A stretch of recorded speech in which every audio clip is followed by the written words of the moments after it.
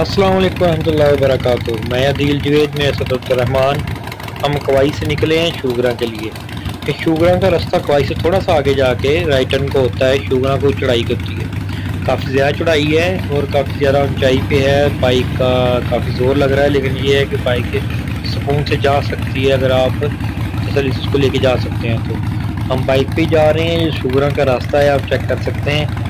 तो अभी तो ख़ास इतनी नहीं है, लेकिन ये थोड़ी देर के बाद काफ़ी चढ़ाई स्टार्ट हो जाएगी।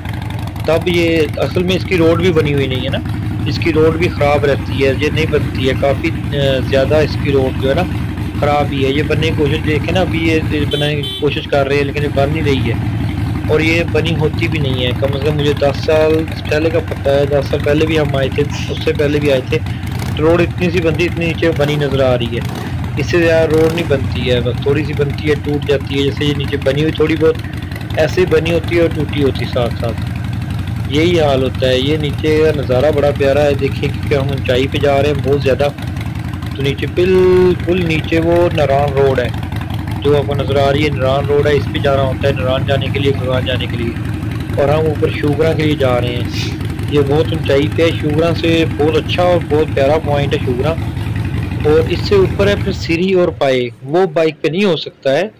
वो करने की आप कोशिश भी ना करें। कुछ लोग पैदल करते हैं। पैदल करना बहुत मुश्किल है, लेकिन कुछ करते हैं।